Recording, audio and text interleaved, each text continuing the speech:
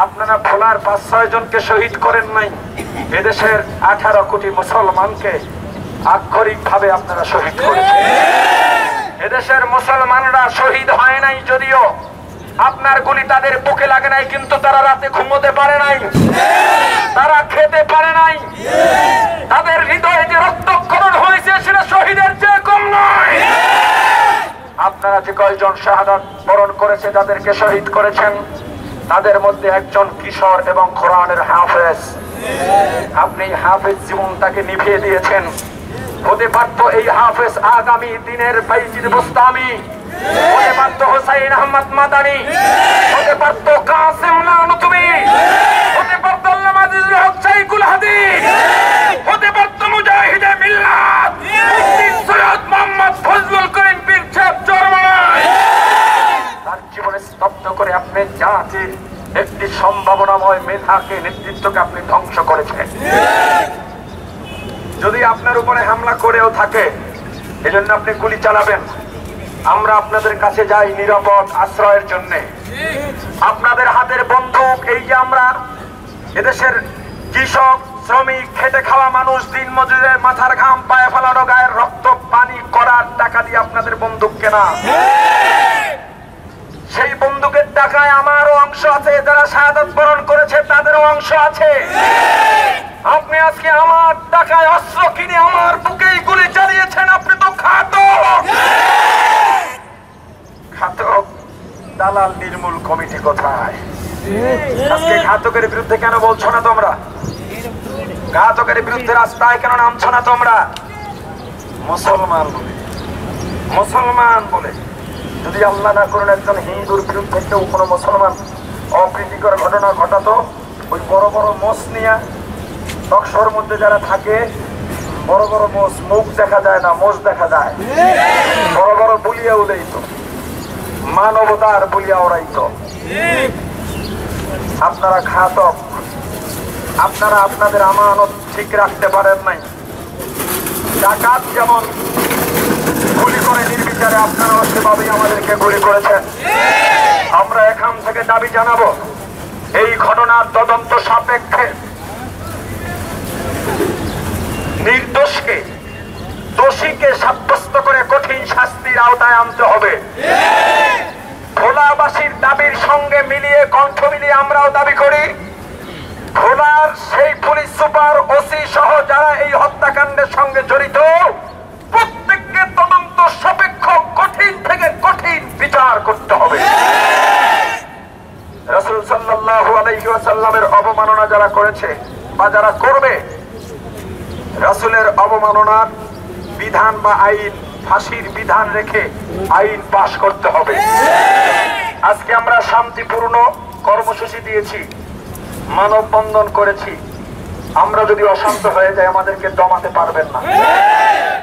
গুলির ভয় দেখিয়ে দমাতে পারবেন না। কয়জনকে গুলি করবেন? আমাদের এক আলোচক বলেছিলেন, আমরা যদি রাস্তায় নেমে যাই, রক্ত দেওয়ার চিন্তা করে আপনাদের মৌজুদ তত গোলা বারুদ নাই যতজনকে মারবেন আমরা মুসলমান, রক্ত দিয়ে আমরা বিজয় করার অভ্যাসে পরিণত হয়েছি, আমরা রক্ত দেওয়ার জাতি। আমরা ত্যাগী জাতি। আমরা কোরবানি করতে জানি, আমরা জাতির সুরক্ষার জন্য আমরা জীবন দিতে জানি। আজকে রাসুলের ইজ্জতে আমরা যারা এখানে উপস্থিত হয়েছি একজনও এখানে কোন দল, মত নয়। প্রত্যেকে রাসুল প্রেমের জন্য দাঁড়িয়েছেন। অনেকের মাথায় টুপি নাই, গায়ে চুপ্পা নাই, মুখে দাড়ি নাই, কিন্তু ভেতরে রাসুলের মহব্বত আছে। রাসুল প্রেমিক যখন এক হয়ে যাবে, তখন শুধু হুজুরার দল নাই। সব দল, মতের সমস্ত রাসুল প্রেমিক এক হলে যদি এক হয়ে প্রসাব করে, আপনারা শুধু তাদের প্রসাবে ভেসে যাবে রাসুলের অবমাননার ফাঁসির বিধান রেখে কার্যকারী আইন, পদক্ষেপ নেওয়া হোক এবং কঠিন থেকে কঠিন শাস্তির বিধান রেখে অপরাধীদের বিচারের আওতায় আনার জোর দাবি জানাচ্ছি। কওমি প্রজন্মের ব্যানারে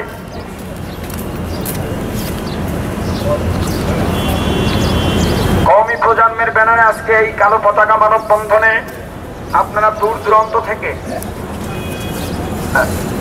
যারা কষ্ট করে এসেছেন আর একটা কথা। যারা শাহাদত বরণ করেছেন ভোলায় মিডিয়াতে পাঁচ থেকে ছয় জন এসেছে, আমরা স্থানীয়ভাবে শুনেছি, বারো থেকে চোদ্দ জন শাহাদত বরণ করেছেন। এখনও আশঙ্কা- আশঙ্কাজনক অবস্থায় অনেকেই ভোলা এবং বরিশাল শেরে বাংলা মেডিকেল কলেজ হাসপাতালে কাতরাচ্ছেন। অনেকের জীবন সংকটাপন্ন, প্রচুর রক্ত দিতে হচ্ছে। আমরা তাদের জন্য দোয়া করি। পাশাপাশি যারা শাহাদত বরণ করেছেন, তাদেরকে উপযুক্ত ক্ষতিপূরণ দিতে হবে।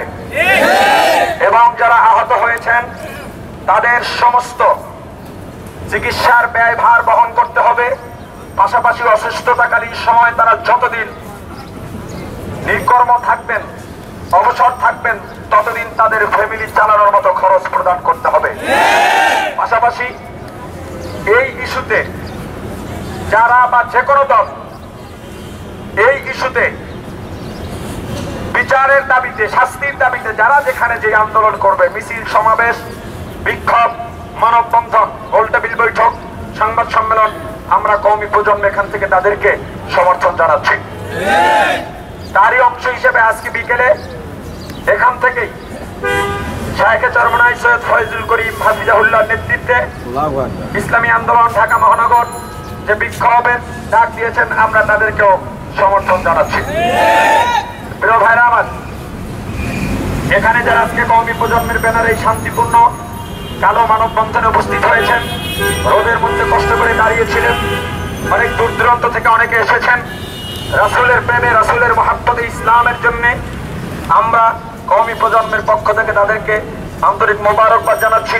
আপনাদের প্রতি দোয়া রইল, সামাজিক, রাষ্ট্রীয়, ইসলামিক যে কোনো উন্নয়নমূলক এবং প্রতিবাদমূলক কোনো কর্মসূচি যদি আমরা আবার ডাক দিই, আশা করি আপনাদেরকে আমরা সবসময় পাশে পাব। কৌমি প্রজন্ম, এটা কোনো সংগঠন নয়, শুধু একটি ব্যানার। আমরা এই ব্যানারে সকল প্রতিবাদ করে থাকি এটা কোনো কমিটিও নেই। আমরা এক এক সময় এক একজনকে আহ্বায়ক বা অনুষ্ঠানের সভাপতি করে থাকি। বাকি সমন্বয়ক হিসেবে আমি কাজ করে যাচ্ছি। অনেকে মনে করবেন যে হয়তো গোপনে কোনো কমিটি আছে, এটার কোনো কমিটি নেই। আজকে যারা এখানে এলেন, সময় দিলেন অনেকক্ষণ ধরে এই রোদে দাঁড়িয়ে রাসুলের রাসুল প্রেমের নজরানা পেশ করলেন, নজির স্থাপন করলেন। তাদেরকে মোবারকবাদ জানাচ্ছি, সাংবাদিক ভাইদেরকে মোবারকবাদ জানাচ্ছি। বিশেষ করে প্রশাসনের ভাইয়েরা, আমরা একটা শঙ্কায় ছিলাম, যেহেতু খোলার সমাবেশ বন্ধ করে দেওয়া হয়েছে। হয়তো অন্যান্য জায়গায় তারা কঠোর হবেন। আজকে আপনাদের আন্তরিক সহযোগিতা এবং আন্তরিকতা আমরা মুগ্ধ। এভাবেই আপনাদেরকে আমরা দিনই ইমানি সকল আন্দোলনে প্রতিবাদে আপনাদেরকে পাশে চাই। আপনারা আমাদের আদর্শ তখন দেখতে পারবেন। কিন্তু স্রোতকে যদি বাধা দিয়ে রাখেন, তখন কিন্তু স্রোতের সঙ্গে ভেসে যেতে হয়। স্রোত দেখলে আপনি পাশে দাঁড়িয়ে যান, স্রোত চলে যাক, এরপরের মাঠ আপনার। অতএব আমরা আপনাদেরকে মোবারকবাদ জানাচ্ছি, মতিঝিল ডিসি সাহেবকে মোবারকবাদ জানিয়ে আমরা আমরা আমাদের আজকের এই কালো পতাকা মানববন্ধন আমরা এখানে শেষ করছি। যদি বিচার না হয় বা আরও কোনো এ- ধরনের অপ্রীতিকর, অস্থিতিশীল পরিবেশ তৈরি হয়, আমরা সামনের দিকে তাহলে আরও কঠোর থেকে কঠোরতম কর্মসূচি দিতে বাধ্য হব। আমরা দোয়া মোনাজাতের মাধ্যমে এখান থেকে সবাই বিদায় হব।